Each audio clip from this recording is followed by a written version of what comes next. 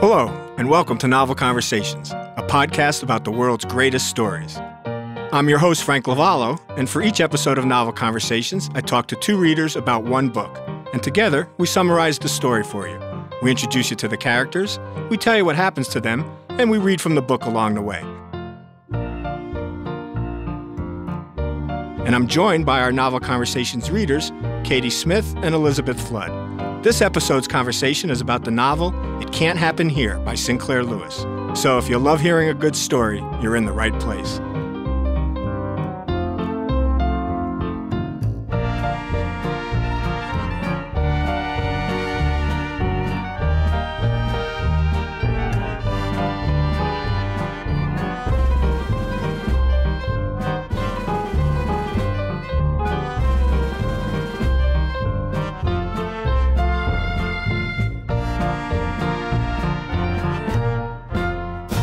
Katie, Elizabeth, welcome.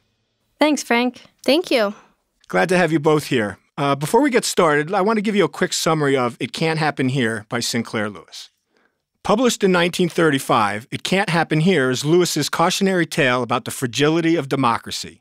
Set in the years after the Great War and the Great Depression, America was witnessing the rise of Adolf Hitler, Benito Mussolini, and communism. There was a widespread fear that the country could be taken over by a foreign fascist dictatorship or even worse, a domestic communist revolution. Such concerns gave rise to the alarming popularity of a variety of demagogues from both the left and the right. When one man prevails to become president, and then dictator to save the nation from welfare cheats, crime, unions, communists, and a liberal press, Sinclair Lewis shows us it can happen here. Katie Elizabeth, does that summary work for you? Yeah, sounds great. Yeah, it's perfect. Let's not gild the lily. it's the best summary I've ever heard. well, I know it's the best I've ever written, but I, I wasn't sure if it was the best you'd ever heard. well, Katie, let me ask you is this the first time you read uh, Sinclair Lewis's It Can't Happen Here? Yeah, it was my first reading. Are you familiar with some of Sinclair Lewis's other titles? I have read a couple of his other ones. I enjoyed this one so much, though, probably more than Main Street, which I think was the last one I read. I got to tell you, I really enjoyed this one myself. And just as an aside for our listeners, I want you all to know that Sinclair Lewis was the first American to win the Nobel Prize, and he won it for some of his great classic novels. Uh, as Katie mentioned, like Arrowsmith or Babbitt or Main Street or, or Elmer Gantry. But this was a new one for me as well. Uh, Elizabeth, had you read this one before? No, I hadn't. Good read, though. Yes, very, very interesting. I kept coming up with the word prescient. Sinclair mm-hmm. Lewis understood what could happen, and some people might argue is in fact happening. Absolutely. Yes. I think also there are certain snippets in here that were very true for the time in 1935, but could still be as true today in 2022. Absolutely. Good point. Good point. Yeah, because history repeats itself. Mm-hmm. It does. I don't know if you two knew this, but I had read that Sinclair Lewis's wife was actually a reporter in Europe at this time. Yeah. I believe she's one of the last Americans to interview Adolf Hitler before she had to flee Germany and, and come back to America. Wow. So she certainly informed uh, her husband, Sinclair Lewis's uh, knowledge of dictatorships and, and what was happening in Europe at this time. Uh, no question. Glad you brought that up, Elizabeth. Yeah, I'd be interested to learn more about her. As you guys know, we usually like to just start telling the story, and we introduce characters as we come up to them in our chronological telling of the story. However, I think with this novel, I'd like to introduce some of our characters along with introducing the time of the novel this way, as we then tell the story of the novel, we don't have to keep referring back to this is 1935 or to some of our characters. So, Elizabeth, do you want to set the time for us a little bit? Sure. This was set in Vermont in 1935. They were just coming out of the Depression. Um, they had just finished up World War One, uh, which they refer to as the war to end all wars in the book, or the uh, Great War. I think sometimes they mention it yeah. as the Great War, right? Yeah they didn't quite know what was coming, but I think that um, it's quite interesting that um, this was written pre World War II because Sinclair Lewis didn't know what was coming, but he did kind of have some ideas of what was coming. Right. And by 1935, the world was witnessing the rise of Adolf Hitler. Right. And we were witnessing right. the rise of Mussolini and the fascists in Italy. Yes. So Lewis saw some of this beginning mm-hmm. and then, mm-hmm. of course, extrapolated those facts into his novel. Yeah, I'm guessing that concentration camps were pretty prevalent at this point since he talks about them a lot. Well, actually, not just yet. Not yet. Not just yet. oh, wow. Okay. He had an understanding of what these kinds of governments would do to people that uh, that did Oh. not appreciate the new governance that was being brought to them. Katie, in my summary, I mentioned that there were concerns in this country after the Depression, after fighting the Great War. Do you want to just cover a couple of those concerns that the Americans had uh, at this time? Sure, I think a lot of it had to do with the rise of certain political powers. There was the fear that communism would come in, there was the fear that fascism would come in. Everyone was coming out of the Depression. There were people who couldn't get a job, there were families that couldn't support themselves. I think the political atmosphere was very much foggy. They didn't know what would come next. And they were afraid of that fog. They were afraid of that uncertainty. They were concerned, as you said, about the communists. The first communist uh, uh, organizations in this country started in 1922. So the communists have been here a little while. Right. The German Bund, something somewhat uh, modeled after the Nazi Socialist Party in Germany, was in existence here in this country. 20, 30,000 members of the German Bund in this country. We still hadn't solved our race problem. Some had fought in the war, and then they come home and they're back in second class citizenship. So there's a lot of issues in this country, not only the economic, but the political, the social. And Sinclair Lewis seizes upon this time to tell us a story of a dictator, a man who feels he has to come to the aid of the country to save our country from these various factions, these various political upheavals. But the only way he can do that, become a dictator himself. Ah. A man becomes president fairly, but then because of the problems he believes he sees in the country, he takes draconian measures in order to clamp down on political parties, the liberal press, criminals in general, uh, labor unions. But again, we'll get into that story. But that's the scene, that's the time and place where this novel uh, occurs. It's a very scary time in our country. And as far as the place, uh, Elizabeth, you mentioned Vermont. You know, this sort of conservative, easily shocked, wholesome seeming area can still devolve into violence. I think that's I think that's right. He did choose a conservative part of the country. This was not a crazy, wild, liberal part of the country. This is the state, as I said, the staid New England. If these people can be swayed by a demagogue, if these people can become, shall we use the word, populists, it could happen anywhere. Uh, Katie, why don't you introduce us to our hero? I think we can call him a hero in this novel, our protagonist, Doremus Jessup. Well, we have Doremus Jessup. I think he's a little bit of an everyman. He's a newspaper editor in the middle of this sleepy town in Vermont, and he's a little bit of a gossip, which means that we hear him talking to everybody. He hears everyone's opinions and he really mulls them over. He's a self proclaimed bourgeois intellectual. And, Which just means he's a thinker. right. And he's a liberal. He is a liberal. He also has a family. The family plays an important role in this story. Elizabeth, tell me a little bit about it, some of the members of his family, if you would. So he has three children Philip, Mary, and Cecilia, who's uh, known as Sissy. His oldest son is a doctor, and I suppose the most successful of the three. I, Cecilia is still, I believe, a teenager, maybe 18. Right, senior year in high school, I think they said. Yeah. So Philip and Mary are both married. Mary, we don't really get to hear about her till later on in the novel, but she ends up being quite the firecracker. She's married to a doctor. Yeah. Fowler Greenhill, I think his name is. Yeah, and they have a child. And then Sissy, at the beginning of the novel, she's kind of carefree, flippant. 18 year old. Yeah, yeah, who's running around just thinking about boys mostly. And she's got two that she thinks a lot about, and we'll talk Yeah. about them as we get there. And she also drives a nice little convertible. Yeah. It's a little a little uh, different for 1935, I would think. Mm-hmm. Katie, tell me about Dormus's wife, Emma. Well, uh, we don't know much about her. She's quite quiet and conservative. She doesn't have a lot of opinions. She would be what I might call, if I may, a 1935 typical housewife. She's Absolutely. not too involved in what uh, Dormus is doing outside of the house.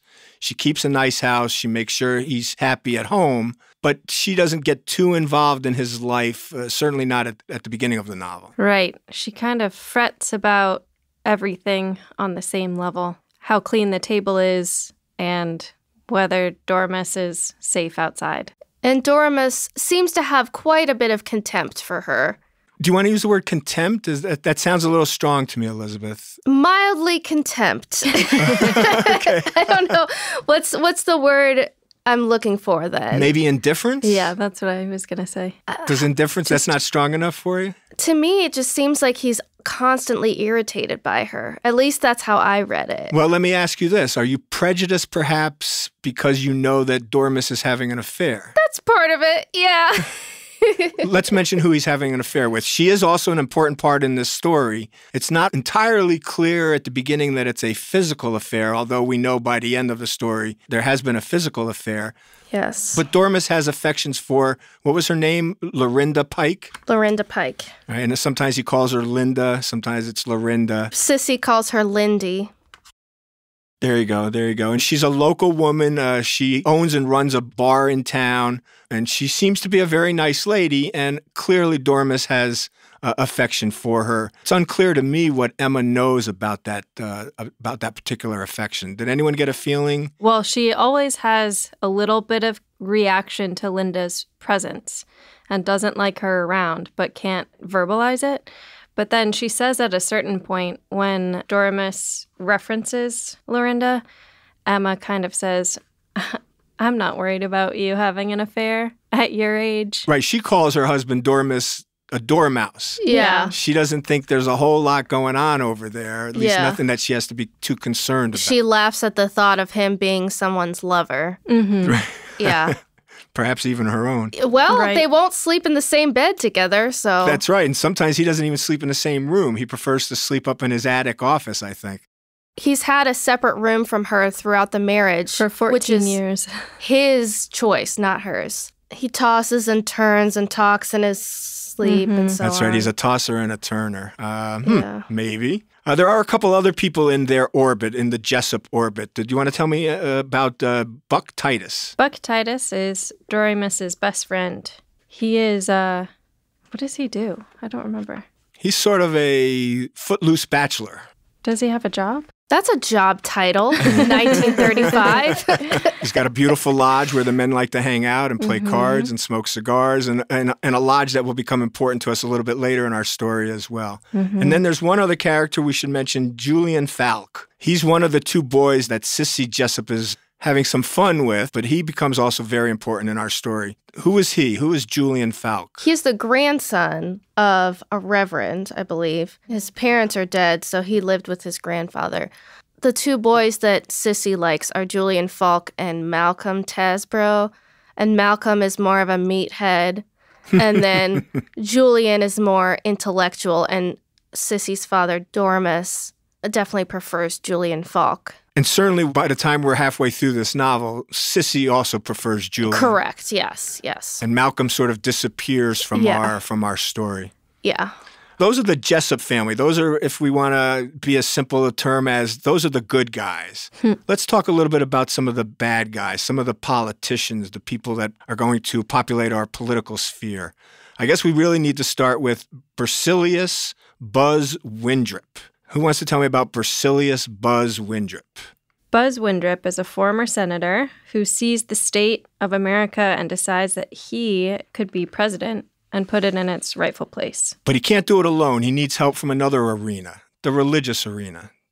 Elizabeth, tell me about Bishop Prang. Well, he's a Protestant bishop, and he gives, uh, I believe it's a weekly address on the radio. He's one of the first radio evangelists in the country. And he's got a huge audience Yeah. that follows him every week, his radio sermons. yes. And he decides to throw his, for Berzelius, Buzz Windrip. right. And that's what propels Windrip to the presidency. Puts Yeah. him over the top, this religious addition. Exactly, because once you have a religious leader telling you that a certain politician is the moral choice, that's going to really motivate religious people to believe, oh, this is the good and moral choice because the bishop said so. Or even just make the decision for them. Perhaps we should say for our historians out there that are listening to us today, Bishop Prang is somewhat modeled on Father Coughlin who was also one of the early radio evangelists of our time. Oh, okay. And I guess I should say that Berzelius Buzz Windrip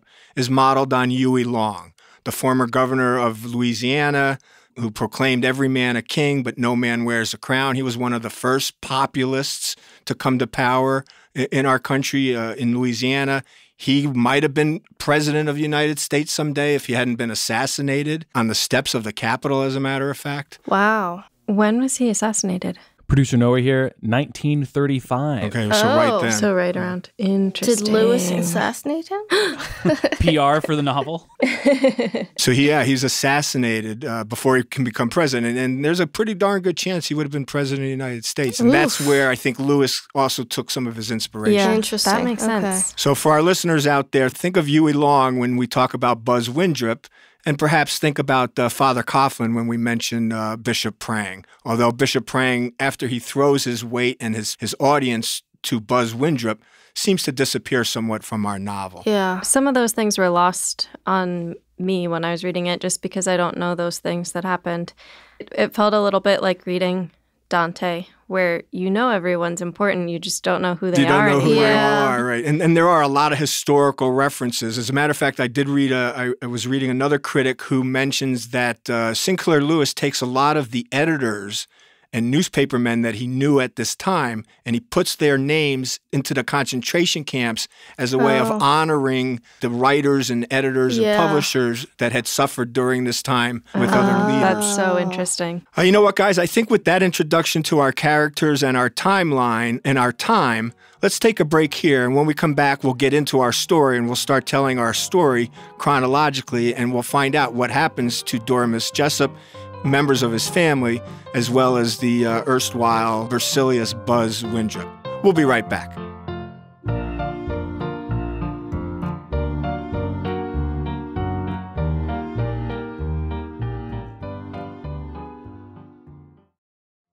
Hello, everyone. My name is Matt Neglia, and I am the host of the Next Best Picture podcast, part of the Film Entertainment Awards website, nextbestpicture.com. On our show, we explore all year long what is possibly going to win Best Picture at the Oscars. We do this by conducting interviews with people within the film industry, holding weekly reviews of the latest theatrical releases, and on our main show, where we dive into various different topics, answer your fan questions, and also do our best to explore Oscar history's past in hopes that it will tell us something new for this upcoming award season race. We hope that you will join us on all of the various podcasting networks. We look forward to seeing you over at nextbestpicture.com.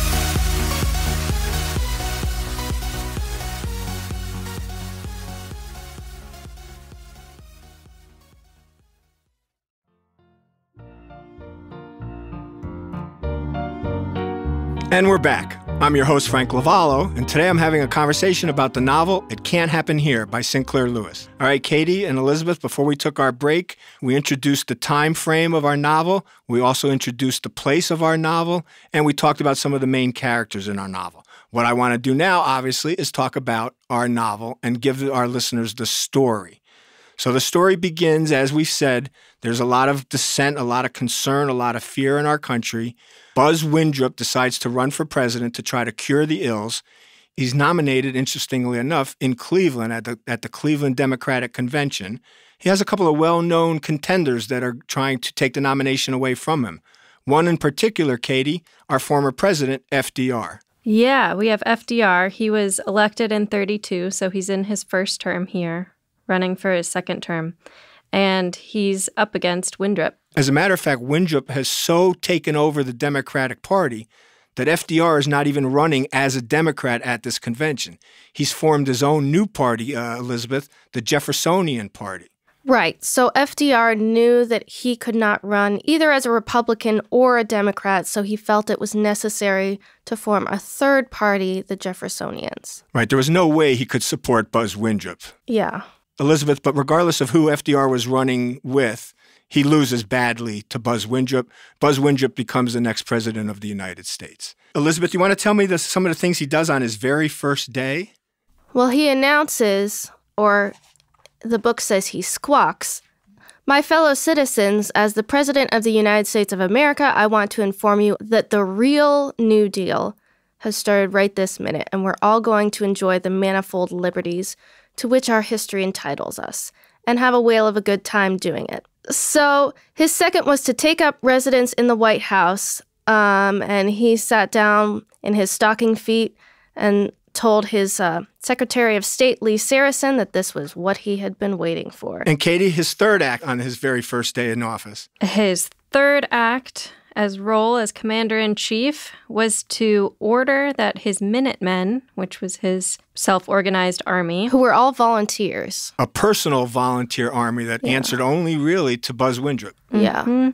That they should be issued rifles, bayonets, and automatic pistols and machine guns by the end of the day. And then we got one more act on his first day. His fourth act, demanding the instant passage of the bill embodying point 15 of his election platform, that he should have complete control of legislation and execution, and the Supreme Court be rendered incapable of blocking anything that it might amuse him to do. The Supreme Court said, hell no. What did the Congress say? Hell no. exactly. Within hours, I believe. Don't they meet in special it's session? 30 minutes. They sure do. By joint resolution, with less than half an hour of debate, both houses of Congress rejected that demand before 3 p.m. on January the 21st. Before 6, the president had proclaimed that a state of martial law existed during the present crisis and arrested most of the Congress. And that was on his first day. Mm-hmm. He did not waste any time. And immediately, riots ensue.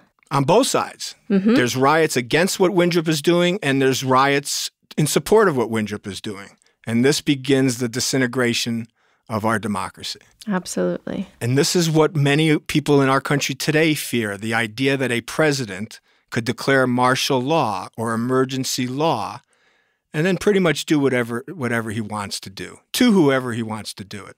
Yeah. And and Lewis again, that's part of his prescience. He sees yeah. how that can occur. And let's not only talk about America. What Lewis is writing about does occur in dozens of countries from 1935 up to the present. It does happen. It is happening, and it will continue to happen. Right. Again, the prescience of, of Lewis. Obviously, we set up our Jessup family as the heroes of our novel. Our editor, our newspaper man, Dormus Jessup, is not going to take this lying down. He's not going to allow his country to devolve into this anarchy, into this martial law. What does he do? He writes something in the newspaper. he starts to write. He kind of put it off. He waited. To, there was sort of a last straw that he couldn't take it anymore when he saw people being arrested and put in jail. And I think um, it was when there was a murder in his town that he decided to stand up. Oh yeah, who who was murdered? A Jewish man. Yeah, that was something we forgot to mention was that throughout this, you know, there is a lot obviously at that time especially there was a lot of anti-semitism and jewish people were the bad guys in windrip's eyes. Um, so he blamed a lot of what was going on in the time on jewish bankers and you know jewish people in general. And some of his points were keeping jewish people kind of tamped down making sure black people couldn't get too rich or successful, making sure women stayed in the household and didn't work unless they were nurses or something like that. But interestingly enough, they did allow women into the military, which we'll talk about later. But not the Minutemen. No. Because that was just for guys. Yeah. Dormus wrote this article and he was really stressing about whether or not he should publish it he was really stressing about it the whole whole day, the whole night, and I think his publisher at first refused to do it, but then finally caved in. And he showed it to his wife. His wife was like, I don't think you should publish this. He showed it to his mistress, and she said, You must publish it. Go for it. Yeah. But she also was fully aware of the risk that he was taking. And it's it's the publication of this first article that brings him to the attention of the new regime the new people in charge in his area. And actually, we should speak about the people of his area has also changed. One of the things that Windrip does to consolidate his power, Elizabeth, tell me about what he does to the country. He forms a new party. The full name is the American Corporate State and Patriotic Party. Right, and they call him the Corpos The for short. Corpos. That's his new political party. Yeah, and the entire country is just that party now, according to him. Well, why did he need a new party? Because he eliminated all the other ones. No more Democrats, no more Republicans, no more Libertarians, Jeffersonians. independents. no more Jeffersonians. And he redistricts the United States. He redistricts the United States. That's what I wanted to get to. Elizabeth, he divides the country into eight regions. It's it's eight regions, and the occupations are divided into six classes. Right. Not only does he break up the country and form his own political subdivisions, but he also tries to regulate industries as well. Yeah, And he settles on six basic industries that he'll support. yeah. Agriculture, industry, commerce, transportation, and communication, banking and insurance and investment, and miscellaneous. That's, that's right. Nice miscellaneous. catch-all. But these aren't the only changes he's making in our country. He's eliminated political parties and formed his own political party. He's divided the country into new political subdivisions. But there's two other things that go on in the country at this time, and I think these are the things that eventually will drive Dormus onto the radical side, and, and he'll want to take actual action more than just writing about it. I believe it was the shutting down of the borders that was one of the main causes to drive Dormus. But mm-hmm. Dormus also finds out about one other thing. So, because they were coming out of the Depression, there were a lot of people who were unemployed. So, Buzz made these work camps for That's a better, that's that's right. That's the term that Windrip uses. They're workers' camps. Mm-hmm. Yeah, for the unemployed people. So all the unemployed people go in there, and then private companies can rent these workers, only pay them a dollar a day, and most of that money goes towards their food and board, which is not included in their camp, apparently. These worker camps become what labor camps had been for a while. You you can only rent a home from the company. You can only shop in the company Oh. store. The company gives you instead of giving you cash, the company gives you script that's only good at the company store. So that's what happens, and that's what happens in these worker camps. They can only buy at the worker shop. They can only use worker money. They're not getting dollars to go out into the world to spend. They're being kept in these camps. It's nice to call them workers' camps, but I think we all know what they're going to become. They're going to become detention camps. What happens too is that since it only costs a dollar a day to hire these workers, some of the bosses of the companies fire the people that they currently have employed because they're more expensive to mm-hmm. pay. So then those people don't have a job, so then they go to the worker camps. They end up in the workers' camps. Exactly. Yeah. Exactly. But Katie, not all is lost. The entire country doesn't come under the swoon of Windrip. There is a resistance, and we get a surprising character. I don't know if we've even mentioned him yet. Walt Trowbridge. Who was Walt Trowbridge? He was Buzz Windrip's opponent in the presidential race. He ran as a Republican. He Mm-hmm. ran against Windrip. He loses badly. Mm-hmm. Uh, he stays in the country for a little while, but He then, does. just as Dormus, he sees the country divided. Well, Trowbridge is under uh, under surveillance. Is that the right word? Right, right. He's he's being He's watched. being monitored. Right, he's being watched, and and he's also watching. He sees Windrip divide the country literally and physically. Mm-hmm. He sees the Supreme Court quashed. He sees congressmen arrested. He sees workers' camps slash detention camps sprouting up across the country. So even though he's being surveilled and being watched, what does Trowbridge do? Well, he lives out his life uh, just writing letters to friends about radishes, I think, until one day he escapes to Canada. He escapes to Canada, and, and he, when he goes to Canada, does he continue writing about radishes, Elizabeth? He starts working for the resistance. Right. Trowbridge is the resistance. He's now in Canada. He had been supported by a lot of people, let's be honest, even though he didn't win, even though Windrip crushed him in the election, he did garner a lot of votes. So there are people out there that supported Trowbridge and supported his policies and were against what Windrip would do. So now Trowbridge starts to agitate from Canada. He starts to gather people in Canada that will help him somehow resist what's going on in America. And of course, our hero, Dormus Jessup, gets involved in this resistance. Not only him, but his pretty much his entire family. He had promised to the people that each family would get $5,000 once he was elected. Each person. Each person would. That is a word for word steal from Huey Long. Oh, was it? Yeah. Wow. Was the money. Yeah. Right, the 5000 a month. Every man a king, no one wears the crown. Yeah, that so that's part of the reason that he got elected. Right. They could put up with a lot if I had $5,000 in my Right. pocket. Yeah. And I think you did, one of you did the math. What would $5,000 be like today? It'd be about a 100,000, right? Mm-hmm. Yeah. That'd be a nice piece of Times change in your pocket. Yeah. And I, I think that might buy some votes. Yeah. I think so. They can they hear what they want to hear. What can Dormus do to resist? He writes. He writes about it in the paper. What paper would print these uh, political tracts now? Yeah, so they have a secret underground printing press and they're just dispersing it wherever they can. Right. He and Buck Titus have actually stolen a very old press from the basement of the paper where uh, Jessup used to work. Yeah. They're now printing resistance newsletters. Yeah. Very, very carefully, very, very secretively, and then getting them distributed uh, throughout the, at least the local area for now. And then with, with further printings, hoping to push the information further out into the country. And his daughters are a big part of that, as well as Sissy's boyfriend, uh, Julian. That's right. So there's this whole crowd. Emma, probably the wife, is is really the only one that's sitting this out. Oh, and Philip.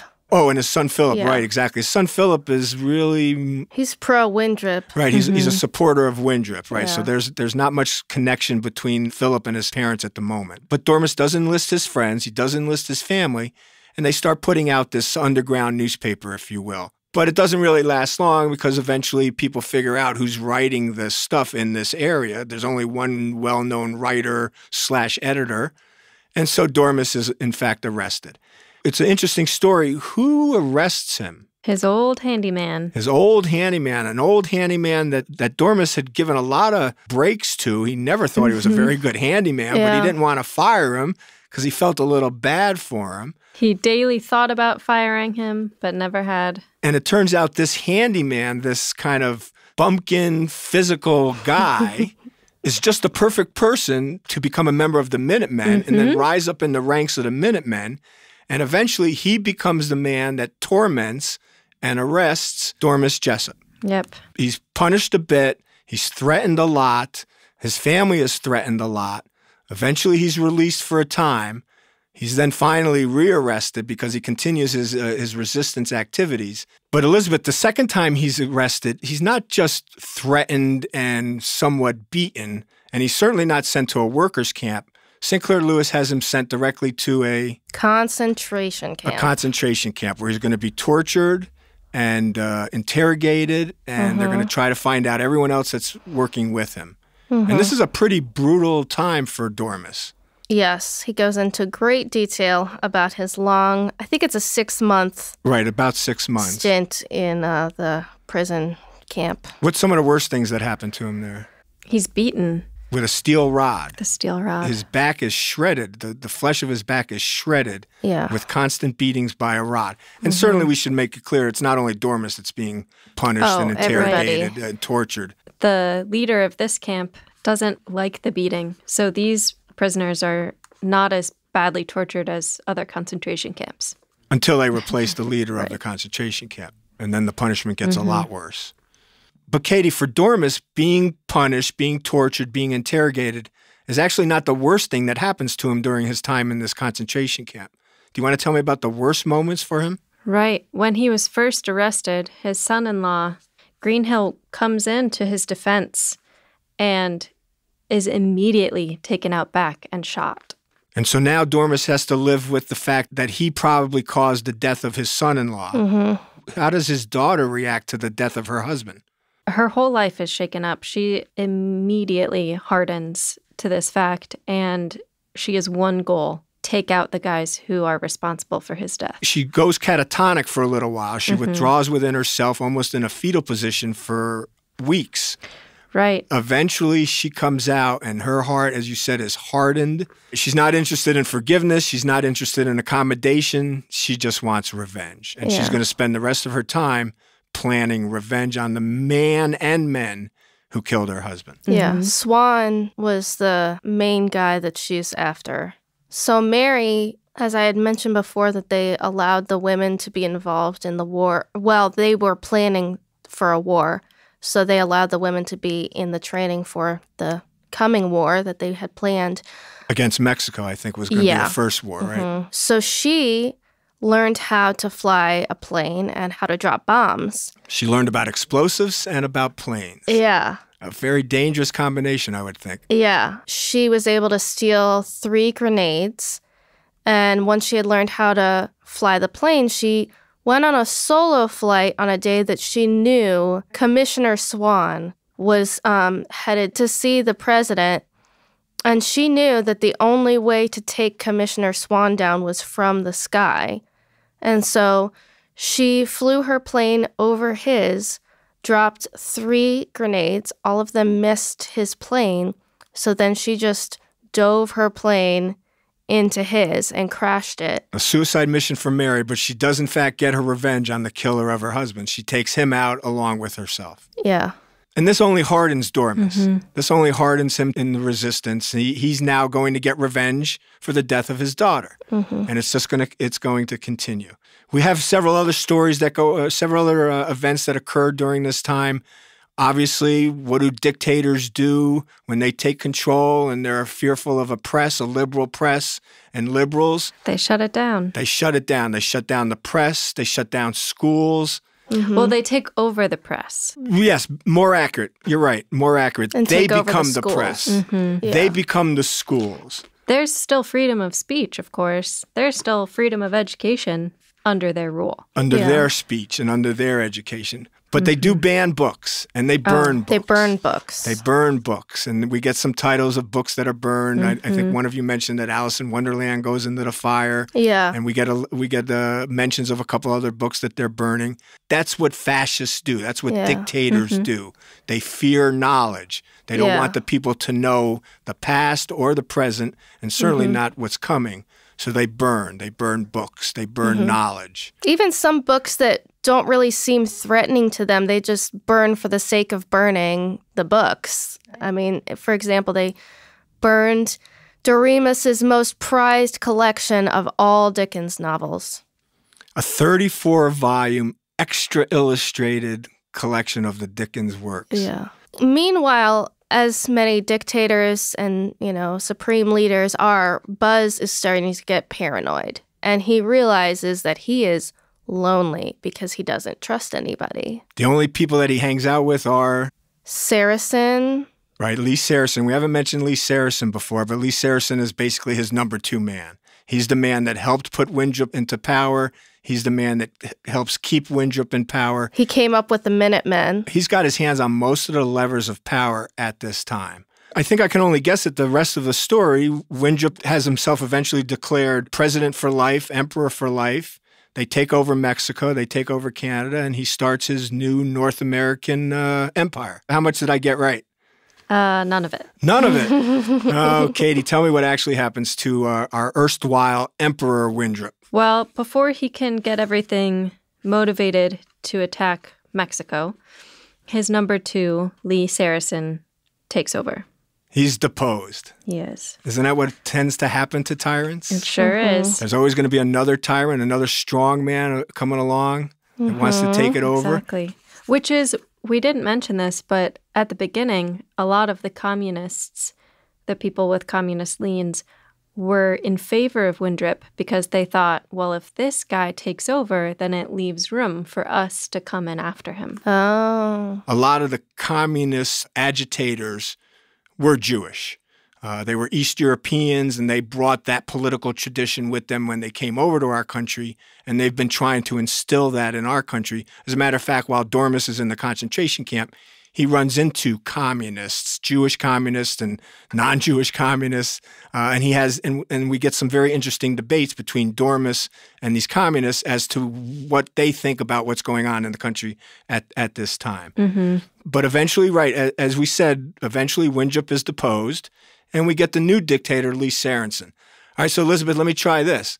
Lee Sarason has himself named emperor for life. He attacks Mexico and, and Canada and creates his own empire. No, he only lasts a month or two. Oh man, I got it wrong again. because General Haik, who has direct command over the Minutemen, he had helped Lee to depose Windrip, but then he very quickly deposes Lee and, in fact, kills him, and he takes over. That's right. I guess we should say that Lee Sarason, when he deposes Windrip, he doesn't kill him. He Right. exiles him, sends him to Europe. Uh, so not so bad. Mm-hmm. And Windrip tells us that he's stolen four or five million dollars, so he's he's all right.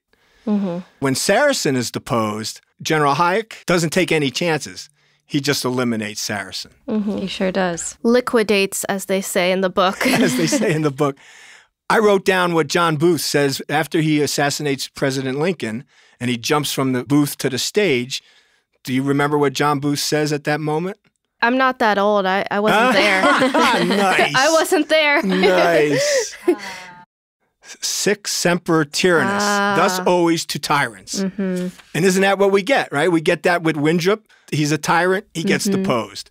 Sarason's a tyrant, he gets deposed. Thus always to mm-hmm. tyrants, Even Shad, he was a tyrant and he gets deposed. and he gets deposed. This is what happens. Yeah. Men get power. Other men get power. They want the other guy's power, and it's a constant battle for power, for control. Very prevalent in uh, ancient Rome, wasn't it? Absolutely. Absolutely. And, and as a matter of fact, we get an illusion at the time when Sarason goes in to, to depose Windrip.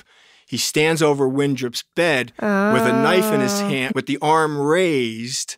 And I think we're supposed to think of Brutus and Julius Caesar. Right. I was hoping Windrip would say, and you too, Lee, mm-hmm. but he didn't. So, you know, maybe he avoided that cliche a bit. I was wondering if that was a dream or if that was real. No, I think I think it was real because then when Haik goes into depose Sarason, there's a mention of there's no arm, there's no blade in the hand. It's a single shot. They just shoot him. A sic semper tyrannus.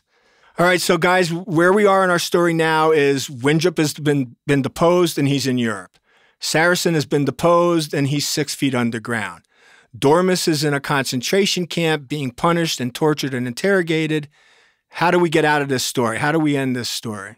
Well, one of the guards whispers to Doremus, Psst, Miss Pike is helping you escape. Lorinda Pike, his old mistress, well, she's not that old, but his, his mistress has arranged for him to escape. And she's bribed a couple guards, and there's a plan for him to get out. Elizabeth, what did you think? And then tell me what happens. He does get out pretty seamlessly. Um, although, interestingly enough, I think he at first doesn't believe that he can get out. Yeah, it's pretty quick. The And- guard just whispers something, says there's a hole in the fence. And a truck waiting for you. Go. Yeah. And Doremus remembers that in his sentence, you know, they had said that if he escapes, there's a death penalty for him and he will be shot. Escaping is a death sentence. Yeah. But he decides to take the chance anyway. Why not? And in fact, he does escape. Yes. I was concerned it wasn't going to happen. I was afraid there was going to be a guy at the end of the road with a, with a gun, but he escapes. And where does he go? What does he do? Canada. he flees to Canada. And that's where he's going to take up his life. He's going to become part of the resistance there and help uh, help America. And that's about where our story ends. We don't have a resolution. We don't know what's happened in the country. The country's not saved. We don't get a new president riding in on a white horse to save this country. We are now in a mess. We've got our third dictator in 3 years and this country needs to figure it out Yeah. and they're going to try there's a resistance that's growing out in the in the west midwest western area they're trying to claw back some of the territory they're trying to establish a new country if you will that will take on america but there's no sunshine at the end of this story. There's mm-hmm. no gift wrapped conclusion. Sinclair lewis leaves us with a lot of questions and a lot of open-ended we don't knows Well, and that's probably because he didn't know exactly. how things were going to shake out. Exactly. right? Great point. Exactly. He doesn't know. He's writing this in the Mm-hmm. middle of the time that these some of these things are threatening to occur. Let's Mm-hmm. be clear. Obviously, it doesn't occur, but things are boiling. Sinclair Lewis sees that. He writes it, but Elizabeth, you're exactly right. He can't finish that writing.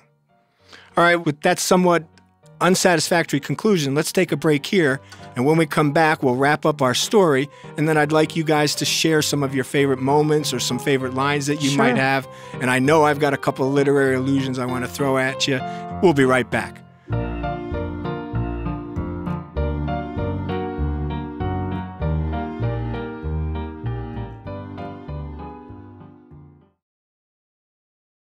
Bonjour. This is Fabulously Delicious, the French food podcast. I'm Andrew Pryor, and every week I bring you the wonderful and fabulous people involved in French food, whether they're here in France like me or from around the world. Each week, we dive into a specific topic, be it a French dish, an ingredient, or a French cuisine cooking technique. My guests are all about French food, so come join me on Fabulously Delicious, the French food podcast. Bon app!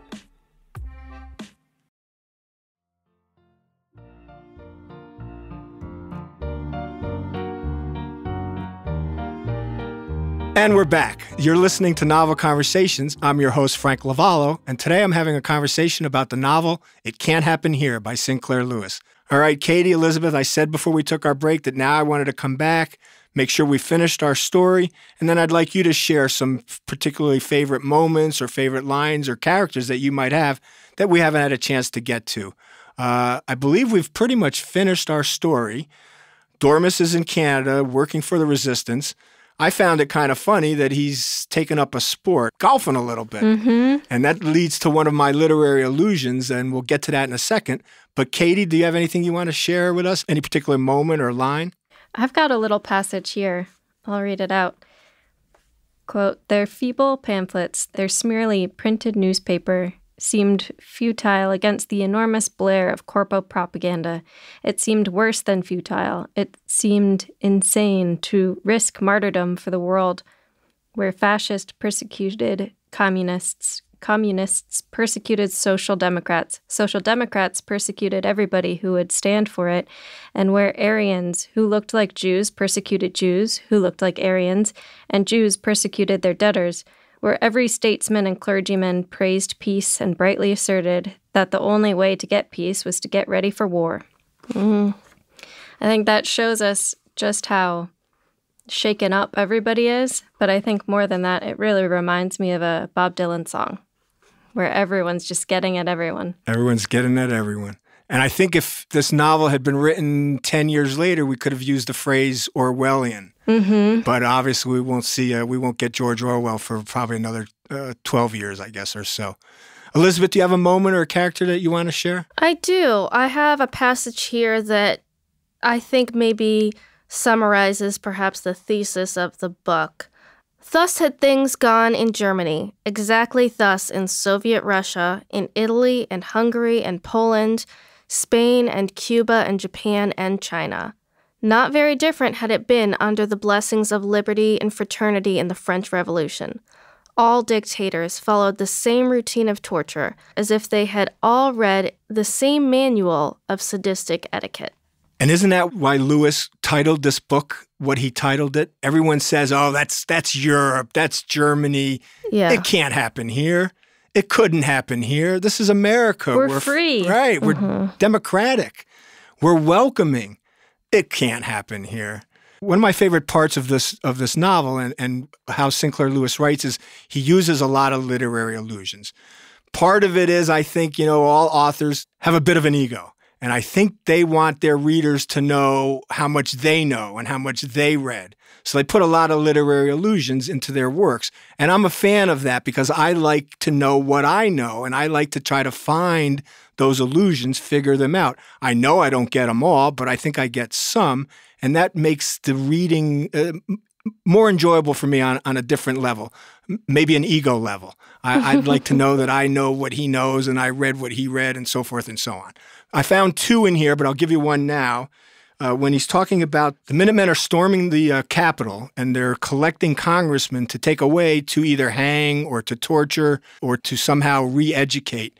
And there's a line here that uh, Sinclair Lewis gives us that as this is all going on, there's a wild woman from the mountains.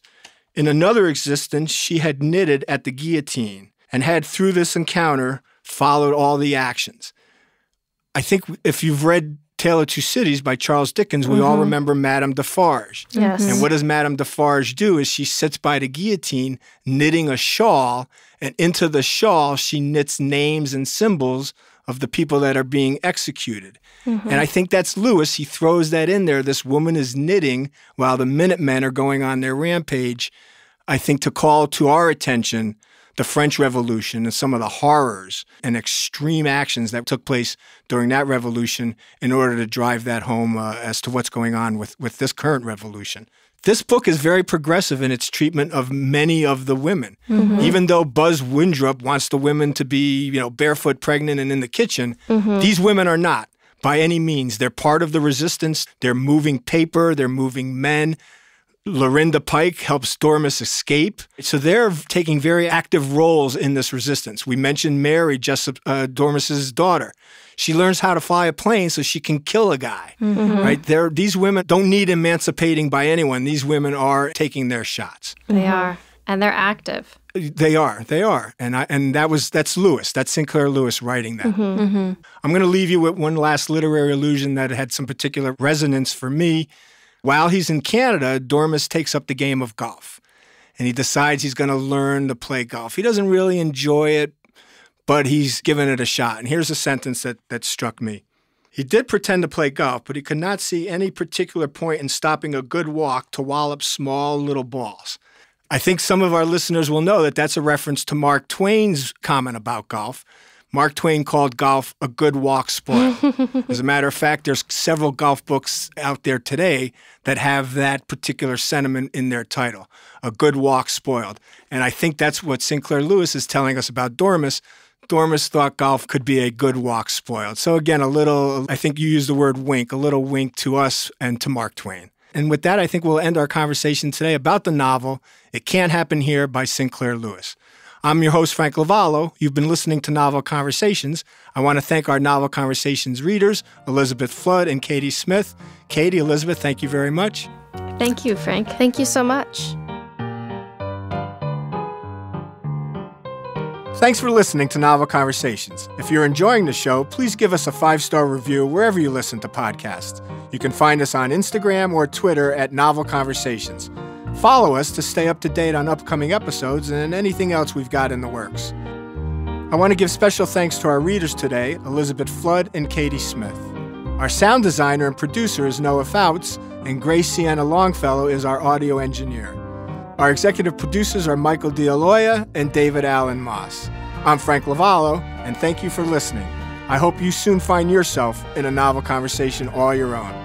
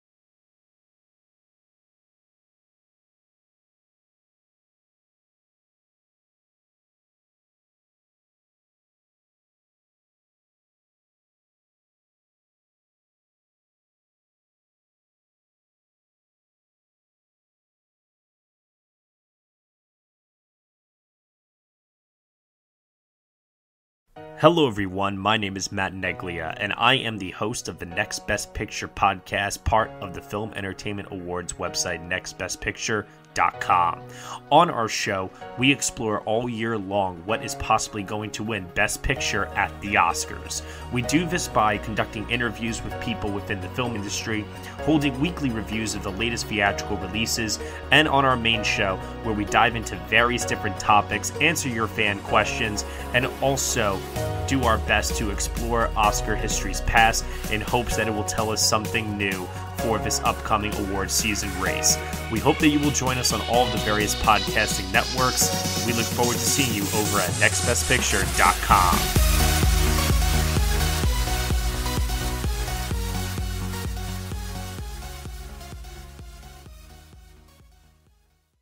This podcast was produced with the support of the Ohio Motion Picture Tax Credit and in partnership with the Ohio Development Services Agency.